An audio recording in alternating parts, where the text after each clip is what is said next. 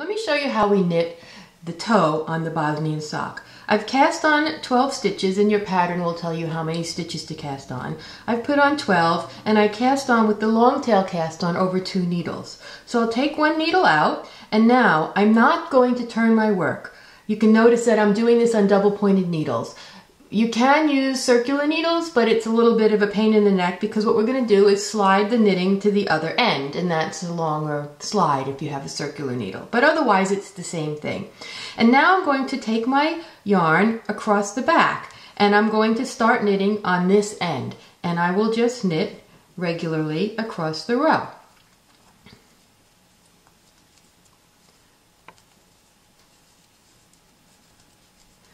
You can see that strand of yarn hanging there between the stitches as I'm knitting.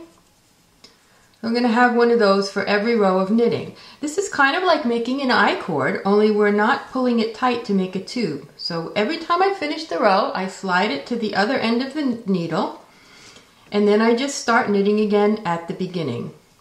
Let me do one more row and show you a trick for how you can easily count the rows of knitting in this as well. So there's nothing special to this except that you slide to the other end instead of turning. So this is a way to make a little rectangle of stockinette stitch with no purling. When I turn my piece over, you can see now I've knitted two rows and I have two strands of yarn across the back. So that's an easy way to count your rows on this instead of trying to count the actual stitches or keeping track with a row counter or anything. So you'll have all of these strands on the back of the toe, which adds an extra layer of cushioning in the toe of the sock. Sometimes people ask me if that un uncomfortable, but I haven't found it to be uncomfortable at all. But if you think it'll bother you, you can knit your toe back and forth in a regular stockinette stitch and knit and purl back and forth and just have a single layer of fabric and that's completely fine. It won't change anything else or ruin your sock in any way. Now that we've finished knitting the rectangle for our toe, we need to set up to knit in the round. So we'll have to pick up stitches on the other three sides where we don't have live stitches. Remember we were knitting every row and not turning. So again here, we're going to not turn. I've attached another color so you can see clearly what I'm doing. Um, and you may change colors after you do the toe or you may continue in the same color according to your preference and the pattern you're working on. First thing we're going to do is look at the side of our knitting and you can see the strands where we let them float across the back, pull the sides of it in a little bit. And where we're going to pick up stitches is by going under two strands that are actually kind of folded onto the back of our piece right now. And yours might look a little different because your yarn might be stretchier than mine. You may have stranded your um, pieces a little bit more loosely so it's not pulled in quite so much. But even if it is, this is fine. You might have to peek over the edge like I just did though to see the two strands of yarn where you're going to pick up a stitch.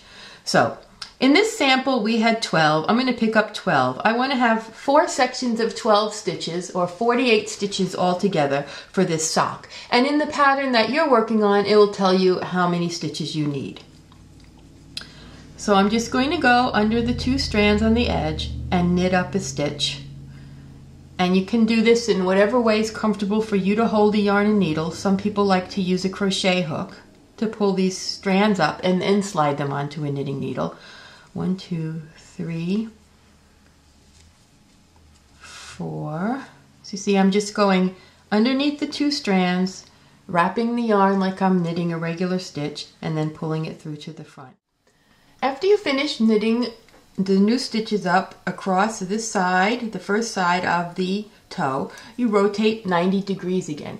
And now we're to the cast on edge where I did the long tail cast on over two needles. So my loops on the cast on edge are nice and loose and that makes it really easy for me to pick up a stitch all the way across. Now usually when you see people remove a provisional cast on or pick up in the cast on edge, they end up being one stitch short, and that's normal. But I'm going to show you by starting and ending all the way at the very edges, we'll be able to get 12 stitches. Because remember, we started with 12, we picked up 12 here, we want to get 12 on this side as well.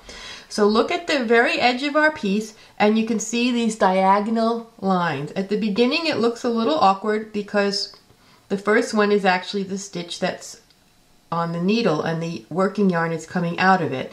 And it also looks a little awkward because we stranded our yarn across the back instead of purling. But we're actually going to go right into that first loop and pick up a stitch. And then we go right into the next one and pick up a stitch. And we're only going under one strand of yarn here because we want to make this work just as if it was a provisional cast on.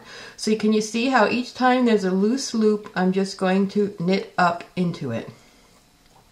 What this makes it look like is the knitting continues straight on from the end of that toe as if it were a provisional cast on or not done anything except smooth knitting.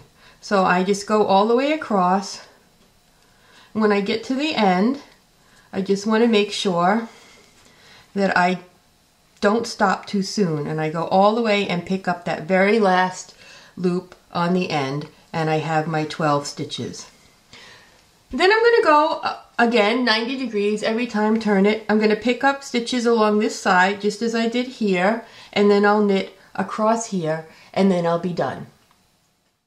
Here's what your sock toe looks like when you're done picking up all around. So remember, we started here with our original tail, we did our cast on and made our whole rectangle. Then we turned 90 degrees. We picked up stitches across here. Then we picked up stitches in the loose loops on the cast on edge. Then we picked up across the second side and then I just knit back to the beginning of the round. So this is, if you're changing colors, an easy way to tell when you're done because you get back to the corner and all of the stitches are in the new color. If you didn't change color, um, then you'll be one row across from where your original cast on was. So you'll be at the other end of that at the top of the knitted piece, not at the bottom. So then we'll divide our stitches up into two sections mentally, or if we're working on circular needles, it'll be two sections literally. With the first side and the second side will be the top of the foot. The third side and the fourth side will be the sole of the foot. And actually, it doesn't matter which half is the top or the bottom of the foot until you start working in the patterns, but you do need to divide it in the two halves, and you'll be working increases at this corner and this corner to create the shape for your toe and your pattern will tell you exactly where to work the increases. So in a finished sock, your toe might look something like this. If I open this sock up, you can see that it has that rectangle